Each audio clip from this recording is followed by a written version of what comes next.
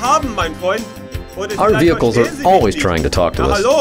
But sometimes these alerts get lost in translation. At US Automotive, we run a full line of unique diagnostic machines with a certified staff that can translate the problems of any car or truck with precision and honesty. At US Automotive, we have two locations to serve you in Springfield, just off West Bypass at Sunshine, or in Nixa, off 160 and CC Highway.